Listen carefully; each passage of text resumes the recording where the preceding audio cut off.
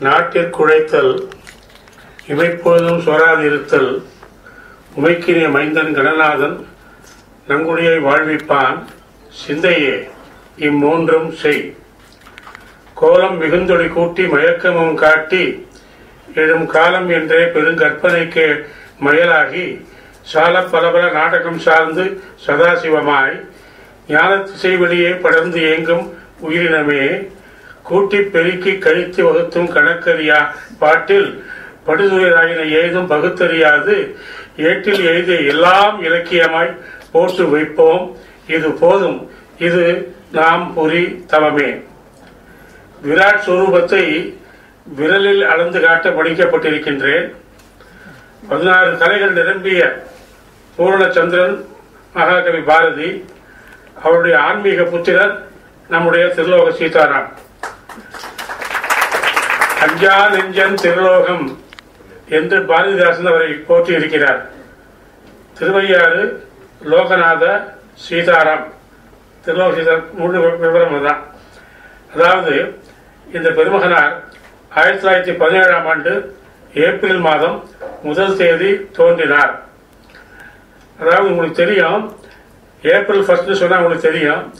All ஃபூர்ஸ் டே all ஃபூர்ஸ் டே இன்றைக்கு இவருடைய அவதாரம்.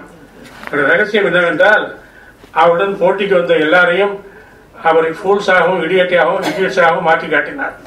அதனால் பேரிலே நல்ல பொருத்தம் இருக்கின்றது. அவங்க குடும்பத்துக்கு ஹோதா என்ற ஒரு விருது உண்டு. ஹோதா என்றால் என்ன என்பதை சொல்லுகின்றேன்.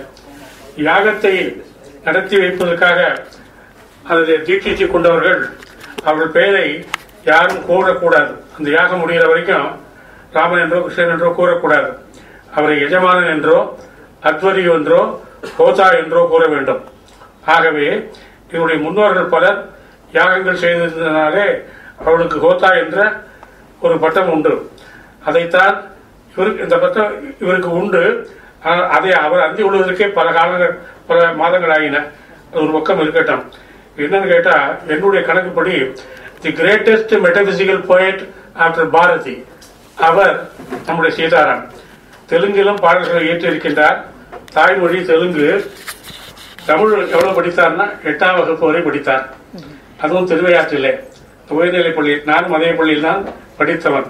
அப்போது சென்ட்ரல் ஹைஸ்கூல் என்று அதற்கு பெயர். அப்போது திடீரென்று அவர் நாற்பது காலமாகவே படிப்பை நிற்க வேண்டிய சூ நிறுத்த வேண்டிய சூழ்நிலை இருந்தாலும் எப்போவோ படித்தவன்? ஒருமைக்கண் தான் கற்ற கல்வி எளிமையும் ஏமா புடைத்து என்பதை நமக்கு நிறுவி காட்டியவர் தில்லவ சீதாராம். அவர் நொபேல் பரிசு பெற்ற ஹெர்மன் எஸ்ஏயுடைய சித்தார்த்தா என்ற நாவலை மொழிபெயர்த்தவர் எஸ்ஏயோடு அவர் ஒரு விதமான அத்வைத உறவு கொண்டவர். ஒரு நாள் மாலையில் ஆல் இந்தியா ரேடியோவில் செய்தி வந்தது. ஹெர்மன் எஸ்ஏ காலமாகிவிட்டார் என்று. உடனே தன் மனைவியை கூப்பிட்டு என்ன சொன்னார் என்றால் கொலைப்புறத்தில் நான் ஸ்நானம் செய்ய வேண்டும். நீர் எடுத்து வை என்று சொன்னார். என்ன காரியம்? என்றார். என்னுடைய பந்து ஒருவர் மறைந்து விட்டார். நான் ஸ்நானம் செய்ய வேண்டும் என்றார். நான் அப்படின்னு அந்த மணி கேட்டபோது உனக்கு பந்து இல்லை. எனக்கு தான் பந்து என்று ஸ்நானம் செய்தார். மறுவாருமே சிவாஜி பத்திரில் எழுதினார் பிரம்ம ரிஷி ஹெர்மன் எஸ்ஏ மறைந்தார் என்ற செய்தியை கேட்டேன். அவருக்காக தீட்டு காக்காவிட்டாலும் ஒரு முழுக்கு போட்டேன் என்று சொன்னார். அப்படி என்றால் அவருடைய உள்ளம் உள்ளம் எவ்வளவு பெரியது என்று பார்த்துக் கொள்ளுங்கள். நண்பர்களே வாரியாருடைய மனைவியார் செல்லம்மா நோய்வாய்ப்பட்டு கட்டுற செய்தியை கேட்டவுடனே போட்டது போட்டபடியே வீட்டை விட்டு புறப்பட்டு மூன்று மாத காலம் செல்லம்மாவுக்கு கைங்கரியம் செய்தார். அந்த நேரத்தில் ஒழிஞ்ச நேரத்தில் அங்கே ஒரு ஆங்கில புத்தகம் இருந்தது. அது மனு தர்ம சாஸ்திரத்தின் ஆங்கில மொழிபெயர்ப்பு. அந்த மூன்று கால காலத்துக்குள்ள நேரம் நேரம் கிடைத்த போதுதான் அதை மொழிபெயர்த்து முடித்தே விட்டார். அதுவும் பிரசுரமாக இருக்கிறது. மிக அற்புதமான மொழிபெயர்ப்பு. அப்புறம் இன்னொரு செய்தி முக்கியமாக செய்தி விட்டு வேற விஷயத்துக்கு போகிறேன் அதாவது கவுண்டர் ஆஃப் என்ற ஒரு அருமையான கவிதை பனுவல் அவருடைய ஆசிரியர் பிரான்சிஸ் தாம்சன் பிரான்சிஸ் தாம்சன் அதுக்கு ஈடான ஒரு பாட்டு பார்க்க முடியாது. அவ்வளோ பெருசு. ஹவுண்ட் ஆஃப் ஹெவன் என்ற அந்த திப்பிய பாடல். பேராசிரியர் சாரநாதன் அதாவது தேசிய கல்லூரியை தோற்றுவித்தவரில் முக்கியமானவர். அவர் தில்லோகத்தினுடைய நண்பர். ஒரு முறை அவர்கள் சொன்னார் இந்த ஹவுண்ட் ஆஃப் ஹெவன் ஹெவனை பாடமாக வைத்திருக்கிறார்கள். இதை எனக்கு மொழிபெயர்த்து தர வேண்டும் என்று கேட்டபோது எனக்கு ஆங்கிலம் வராது என்று சொன்னபோது அதை பற்றி ஏன் ஏன் கொலைப்படுகிறாய் நான் உனக்கு சொல்லித் தருகிறேன் என்று சொல்லி வீட்டு தம் வீட்டுக்கு அழைத்து சென்று பாடத்தை கற்பித்து கொடுத்தார். இவர் கற்றுக்கொண்ட மறுநாளே பாடத்தை பூர்த்தி செய்தார். பூர்த்தி செய்துவிட்டு இதை பேராசிரியர் ஏற்கிறாரா இல்லையா என்று தெரிந்து கொள்ள வேண்டும் என்பதற்காக அந்த நேஷனல் காலேஜுக்கு வந்தார். அந்த நேரத்தில் ப்ரொஃபஸர் ப்ரொஃபசர் சாரநாதன் வகுப்பு நடத்தி கொண்டிருந்தார். அவர் ஒரு வினோதமானவர். அடிக்கடி வகுப்புக்கு வரமாட்டார். மாலை வரை பிற்பகல் வருவார். வந்தால் மற்றவர்களெல்லாம் பாடம் நடத்த முடியாது. பிற்பகல் முழுவதும் மூணு மணி நேரம் அவரே பாடம் சொல்வார் இவர் போய் ஒரு ஓரமாக நின்று கொண்டிருந்த பொழுது அவர் தில்லோ சீதாராம் வரைந்த அந்த பிரான்சிஸ் தாம்சன் மொழிபெயர்ப்பை வைத்துக் கொண்டு விளக்கினார். அந்த பாடலை நம்ம மாணாக்கர்களுக்கு விளக்கினார். தாம் எதை அறிந்து கொள்ள வேண்டும் என்று நினைத்து வந்தாரோ அதற்கான செய்தி கிடைத்து விட்டது திரும்பி போய்விட்டார். அப்படி என்றால் ஒரு என்னன்னு கேட்டா பால் கிரேவ்ஸ் கோல்டன் ட்ரெஷரின்னு ஒரு- சின்ன புத்தகம். பால் கிரேவ் என்பார் டென்னிஸினுடைய நண்பர். இவர் ஒரு தொகுப்பு நூல் வெளியிட்டார். அதுக்கு கோல்டன் ட்ரெஷரி என்று பெயர். அதில் உள்ள அனைத்து பாடல்களையும் இவர் படித்து விட்டார். பல பாடல்களை இவர் நெற்றுவாக கூட சொல்லவும் செய்வார். அதில் ஒரு பாடல் அவர் ஈர்த்தது. அதுதான் லாங் ஃபெலோ எழுதிய தி சாங் அண்ட் தி ஆரோ என்ற பாடல். அந்த பாடலையும் சொல்லி இவர் எப்படி மொழிபெயர்த்திருக்கிறார் என்பதை சொல்லுகின்றேன். அவர் சொன்னார் அவர் எழுதினார் நம்முடைய Longfellow I shot arrow into the air it fell to earth I knew not where for so swiftly it flew, the sight could not follow it in its flight இவர் பாடுறார். தமிழ் எப்படி இருக்கணும் அப்படி பாடுறார். தமிழில் வச்சு அந்த ஆங்கில கருத்தை சொல்கிறார் வில்வளைத்து நானேற்றி விட்டசரம் ஒன்று விண்வழியே சென்றெங்கோ விழுந்து மறைந்திடவும் நில் என்று சென்றதிலே நின்ற குறி எதுவோ நிலையான நிலையறியா கற்புலனோ நினைக்க வசமாகும். அப்புறம் அடுத்த பத்தி. I breathe a song into the air it fell to earth I knew not where for who has sight so keen and strong that he can follow the flight of song அடுத்தாப்பு தான் முக்கியம். என்ன சொல்றார்? Long long after இதுக்கு இதுக்கு மொழிபெயர்ப்பு சொல்றேன். அதாவது அன்னொரு நாள் என் நெஞ்சில் ஆர்த்தெழுந்த கவிதை ஆகாய வீதியில் அலைபரவும் காலை நின்றெதிரே தேக்கியதோர் நெஞ்சது என்று அறியேன் நிலைகான செலுமதலை நிறுத்தி உடன் செல்லவோ long long afterward in an oak I found the arrow still unbroke and the song from from beginning to end I found again in the heart of a friend Tamil படுத்தார் பாருங்க பன்னெண்டு நாள் சென்றதற்பின் பச்சை மரம் ஒன்றில் பாய்ந்திருந்த என் சரத்தை பார்த்து வியந்திட்டேன். தன் உள்ளத்தில் என் கவிதை தேக்கியவன் முழுதும் தனி இருந்து பாடிடவும் தலையசைத்து நின்றேன். எற்பத்தை மொழிபெயர்த்திருக்கிறார் டிஎஸ் எலிட்டை மொழிபெயர்த்திருக்கிறார் பல புலவர்களெல்லாம் மொழிபெயர்த்திருக்கிறார். அவர் அவர் அவ- அவரால் எதையும் சாதிக்க முடியும் என்பதை சுருக்கமாக சொல்லிவிட்டு மேலே போகிறேன். நண்பர்களே அவர் சொற்களோடு பெரிய உறவு கொண்டிருந்த இருந்தார் சொற்கள் மொழி எல்லாவற்றையும் எப்படி அணுக வேண்டும் என்பதை கற்றறிந்திருந்தார். அவர் என்ன செஞ்சார் மொழி என்பது மனிதன் பெற்ற வரங்களில் தலை சிறந்தது. நமக்கு முன்னே இங்கு வாழ வந்திருக்கிற கோடா கோடி மக்கள் அவற்றை உச்சரித்து உச்சரித்திருக்கின்றார்கள். அவருடைய ஆசாபாசங்கள் வெற்றி வீழ்ச்சிகள் எல்லாம் சொல் இன்ப துன்பங்கள் எல்லாம் சொற்களை சுற்றி மனோசக்திகளாக படர்ந்து வடிவங்களாக படிந்து அவற்றிற்கு கனமும் அழுத்தமும் ஆட்டமும் ஆ- ஆக்கமும் ஊட்டி இருக்கின்றன சொல்லும் பொருளும் எப்படி இருக்குன்னு சொல்றார் அவர் சொல்லும் பொருளும் ஒன்றில் ஒன்று கலந்தும் ஒன்றில் ஒன்று புதைந்தும் ஒன்றை ஒன்று கவிந்தும் இரண்டர பின்னி கிடக்கும். ஆகவே சொல் பொருளை உமிழும் பொருள் சொல்லை விளைக்கும். சொல்லிவிட்டு சொல்றார் சொல்லையும் பொருளையும் இயந்த பாட்டையும் காரணமாக கொண்டு கவிதை வடிவெடுக்கும் என்றாலும் இவையே கவிதை ஆகா. அவர் என்ன சொல்றாருன்னு கேட்டா முக்கியம் வேகமா போறேன் நேரமே இல்லை. அன்பர்களே அவர் சொல்லுவார் சொற்களுக்கும் நம்மை போல் அகப்புற வாழ்வுகள் உண்டு என்று தேர வேண்டும். நாம் கடந்தோறும் குதப்புகின்ற சொற்களிலே அவற்றின் புற வாழ்வு மட்டும் தெரியும். ஆனால் ஆழ்ந்த கவிதை சுமந்து வருகின்ற அந்த சொற்களிலே அவற்றின் அகவாழ்வு மலரும். ரொம்ப முக்கியமான கருத்து. என்ன சொல்றாருன்னா சொற்களின் மர்மங்களை உணர்ந்த கவிஞர் தான் சொற்களை சொற்களால் சுட்டிக்காட்ட முடியாத இன்பங்களை சுட்டி காட்ட சொற்களுக்கு கட்டளையிட வல்லவர்கள். அத்தகைய ஆற்றல்களின் ஆணையை ஆணையை சிறுமையில் தாங்கி தாளம் தவறாமல் சொற்கள் ஆடி வருகின்ற நடனமே கவிதை என்று சொல்லிவிட்டு கவிதையும் கடவுளும் சொற்கள் தாமே. ஆனால் எப்படி அதை புரிந்து கொள்கின்றோம்? சொல்லுகின்றார் சொல்லின் திறம் ஓய்ந்த மோன திருக்காட்சி கடவுள் கவனியுங்கள். சொல்லின் திறம் ஓய்ந்த மோன திருக்காட்சி கடவுள். மாற்றம் மனம் கழிய நின்ற மறையும் திருவாதிரம். அப்ப கவிதைனா சொல்லின் சுகமெல்லாம் முதிர்ந்து வளர்ந்து தேன் பிரிட்டக்கூடிய ஒன்று. சொல்லின் சுகமெல்லாம் முருகுற்று கனிந்து கசி வந்த தித்திப்பே கவிதை. ஆக இந்த தித்திப்பை அந்த தித்திப்பில் குழைத்து பாடலை பாடினால் அது கடவுளை பற்றிய பாடலாக ஆகும் என்றெல்லாம் சொல்லுவார். இந்த பெரியவர் உரைநடையிலும் ஊறி தொலைத்தவர் ஒரு சமயம் பேராசிரியர் ஸ்ரீனிவாச ராகவன் தூத்துக்குடி பேராசிரியர் எங்கள் வீட்டுக்கு வருவதாக அறிவித்திருந்தார். ஆகவே நண்பர்களை எல்லாம் ஒன்று திரட்டினேன்.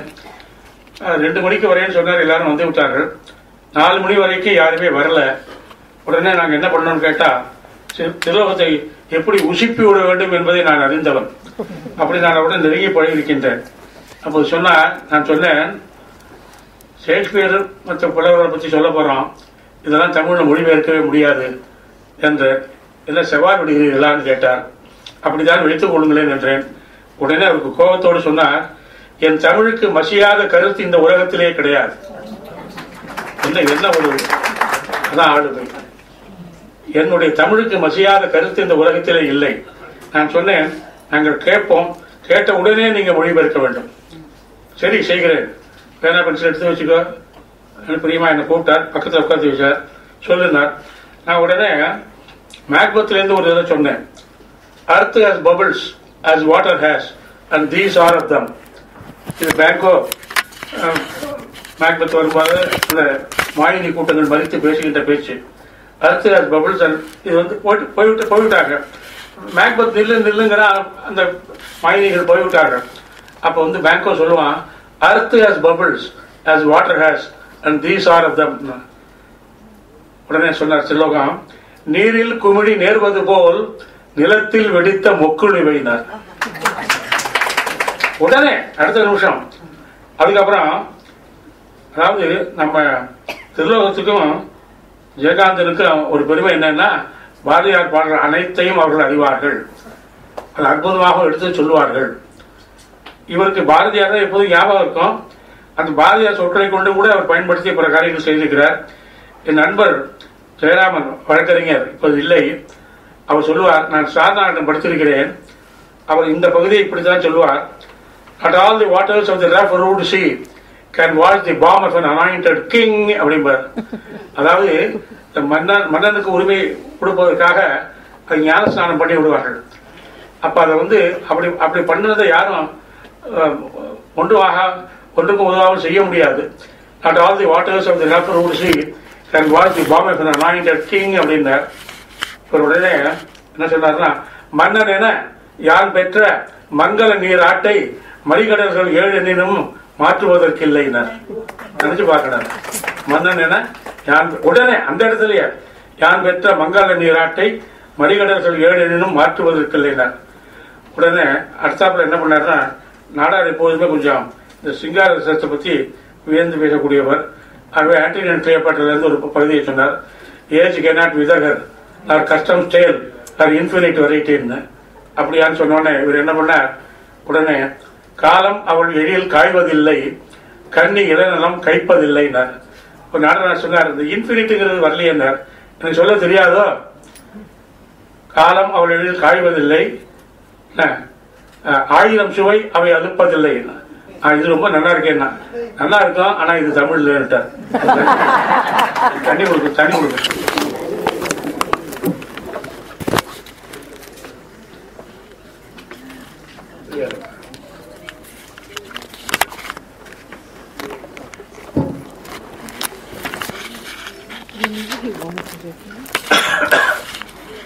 இப்பதான் ஒரு பெரிய விஷயம் வர போகுது. என்னன்னு கேட்டா மார்லோர்ல இருந்து ஒரு ஒரு பேசேஜ் கொடுத்தார் இன்னொரு நண்பர். இந்த வெள்ளம் டிராக் போறாங்க. பார்க்கும்போது was this the face that launched a thousand ships and burnt the topless towers of Ilium ஆஹா நல்லா தான் சொல்லியிருக்கிறான். உடனே இவர் எடுக்கிறார் ஆ?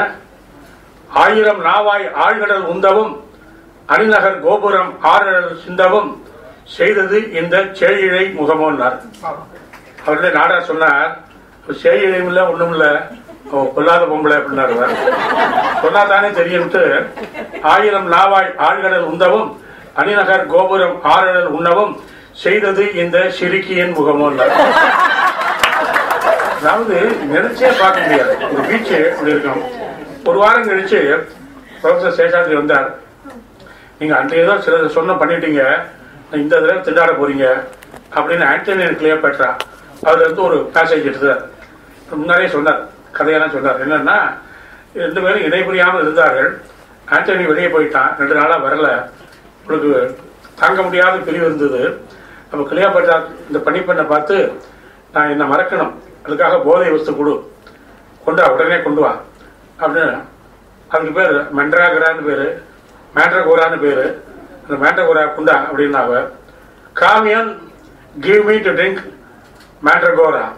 My Antony is away அப்படின்னு சொன்னோன்னே அப்பவே சேகாந்தி சொன்னார் மேண்ட்ரகோரான்னு இங்கே வாத்தியார் சொல்ல மாட்டார்.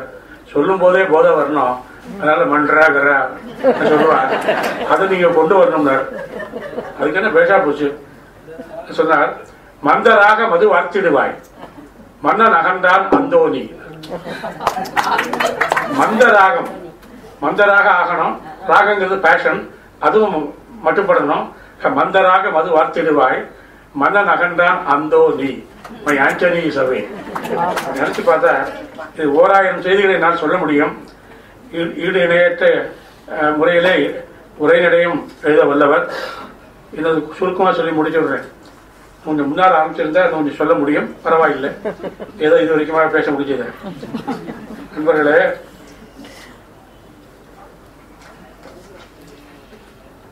பாரதியை நாம் பொதுவாக என்ன நினைப்போம்? எல்லோரும் பாரதியை புரிந்து கொள்ள முடியும்னு நான் பத்து ஆண்டுகள் பேசினேன். பாரதி எனக்கு புரியவில்லை என்று. புரிந்தவர்கள் இருந்தால் முன்வரிசையிலிருந்து உட்காருங்கள். சில கேள்விகளை கேட்கிறேன். நீங்கள் விடை கூற முயலுங்கள்னு சொல்லுவேன். அதை பற்றி தான் சொல்ல நேரம் இல்லை. இவர் எப்படி இருந்தார் கேட்டீங்கன்னா நம்முடைய பெரியவர் செல்வ சீதாராம் என் மீது எல்லையற்ற பதிவு கொண்டவர்.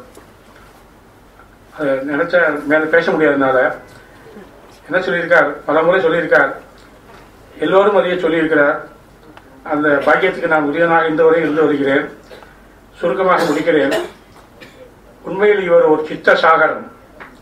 இந்த சாகரத்திலே அவர் நல்வினைகள் பல்கி பெருகின. மேலும் அங்கு தத்துகின்ற திரையும் சுழிகளும் தூக்கி எச்சிடும் காற்றும் உள் ஓட்டமும் சுத்தமான பகுதியும் வெண்பனி சூழ்ந்த பாகமும் சுட்ட வெந்நீரும் அன்னப்பிரமும் பல பல உள. நம்முடைய திருலோகத்தினுடைய மந்திர சொற்கள் மந்திர சொற்கள் எல்லாம் மந்திர சொற்களாக கொழிக்கின்றன என்பதை விளக்கி சொல்ல நேரமில்லை. இவர் சொல் தீக்கடைந்து எழுந்ததென் சொல் சொல்லுவார். மேலும் சொல்லுவார் அச்சொற்களின் சிறப்பை சாற்றவல்ல. சொற்களே பரவெளியில் மட்டுமே உள்ள மண்ணில் ஒரு வார்த்தை கூட கிடைக்கவில்லை என்றுதான் நான் ஒப்புக்கொள்ள வேண்டும். இவரை போற்றுவதே எம்மனோர் செய்ய வேண்டிய திருலோக வழிபாடு என்றே சொல்லுவேன். அன்பர்களே இத்திருக்கூட்டத்தை இந்த திருக்கூட்டம் வழங்க வேண்டும். அதாவது இவ்வளவு பெரிய ஆவணப்படம் எடுத்திருக்கிறார்களே அதற்கு காரணமாக இருந்தவர்களை நான் மனமாற போற்றுகிறேன். விளையாட்டில் திருலோகம் பற்றி திருலோகம் பற்றி நாம் கற்றது கைமண் அளவு கல்லாதது உலகளவு. அது நிச்சயமாக சொல்வேன் நாற்பதாயிரம் கோயிலில் சொல்லுவேன் அந்த குரலை இங்கே படமெடுத்து காட்டி புடமிட்டு காட்டியிருக்கிறார்கள். நாமும் திருலோக ஆளுகைகளை தோய்ந்து தன்னை மறந்த லைனில் திளை- திளைப்போமாக இது முக்கியமாக இந்த ஆவணப்படத்துக்கு ஆக்குவதற்கு வழி செய்த திருலோகமணி அவர்களையும் நம்முடைய ரவி சுப்ரம் அவர்களையும் போற்றி மனமாற வாழ்த்துகிறேன். ஓம் தத் சத்.